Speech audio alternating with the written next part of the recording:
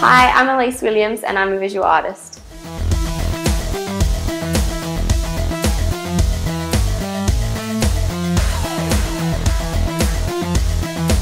I got started at school. I've always really loved art and I had some really great teachers that uh, I guess pushed me to, to pursue my interests and to try and find what I was interested in it's just kind of stuck since then. I actually am really inspired by the sky. I always look at the sky when I'm driving home from work and, and I find the colours in there so, I guess, interesting and beautiful and that kind of helps me put things into perspective and and I'd like to use them in my work. And I've always been inspired by Georgia O'Keeffe, she's one of my favourite artists, and uh, Salvador Dali, they're probably my favourites. So I, I, just like anything different and colourful.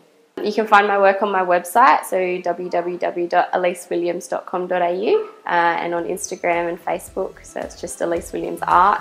My name's Elyse Williams, and I'm a raw artist.